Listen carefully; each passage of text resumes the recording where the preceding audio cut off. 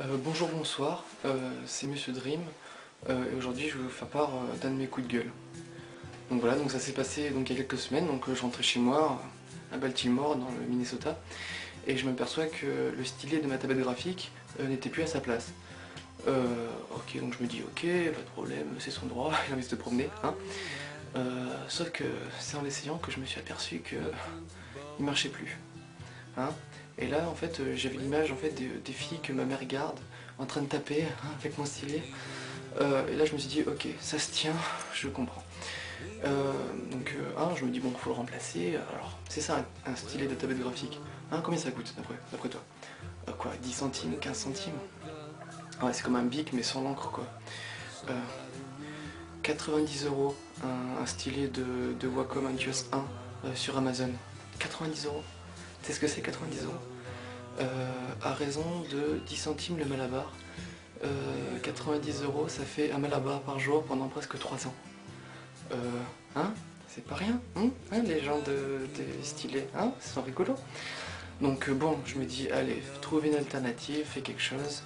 Euh, je vais regarder sur eBay. Et là, je tombe un peu sur l'occasion euh, rêvée.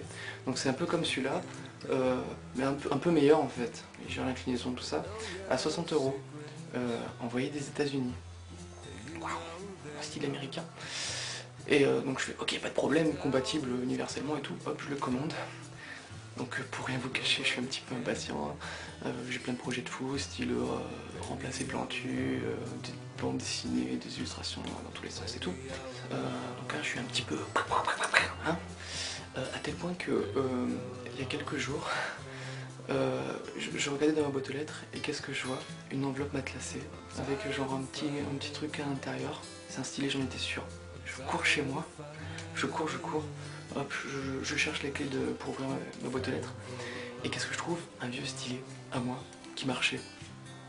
Tip top quoi, le rêve. C'est bon, j'ai mon stylet, je peux dessiner. Hop, j'en ai deux même. Et euh, vous savez ce qui s'est passé juste après? Je me suis réveillé. Euh, ouais, c'est là où on se dit, euh, t'es un petit peu con quand même, hein, genre, euh, ça te macère et tout. Parce que, à mon avis, le stylet que j'ai commandé, personnellement, je pense qu'il traverse l'Atlantique à la nage.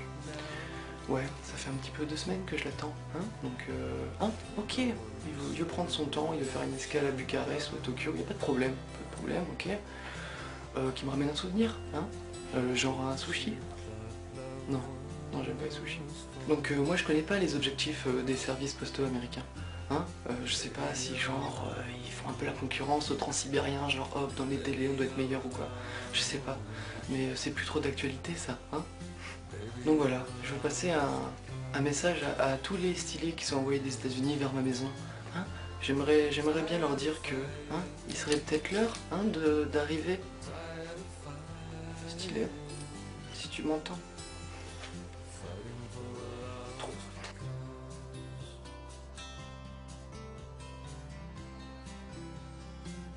Ah, c'est marrant parce que ça fait un petit peu genre ordonnance. Oui, donc un malabar par jour pendant 3 ans. T'imagines le, le médecin? Sympa. hein.